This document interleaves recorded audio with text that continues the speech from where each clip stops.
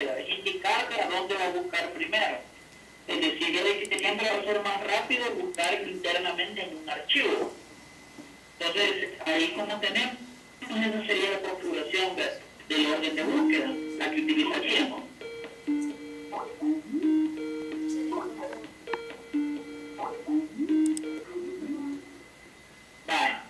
Mi papá me estaba marcando, eso que ya estaba en la casa. Dale. Y se le cayó otra vez a mí, se me cae.